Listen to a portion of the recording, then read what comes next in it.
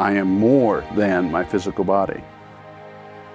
In our culture, we have become uh, rather impoverished in what we consider to be the range of human potential. We're not physical beings.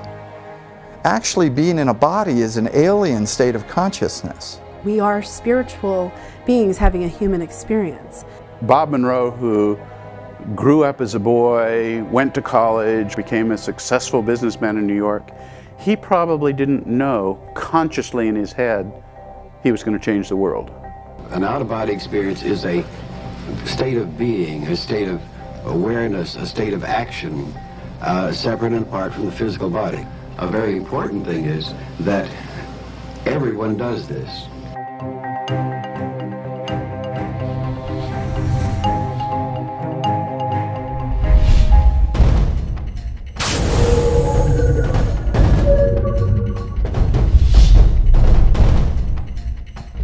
Realized also too that our concepts, our religious concepts of heaven and hell were not accurate at all.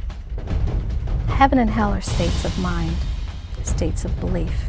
And there are many dimensions, many levels of existence. There's endless, countless different realities that we can explore. This is just one. There's hundreds of virtual realities out there. We all have the ability to actually move beyond our dense exterior, our facade, and start to explore these other dimensions. But where you go to seems to depend upon your intent. With our intention, we can go anywhere in the universe. It's not a matter of learning something new, it's a matter of letting go of something old.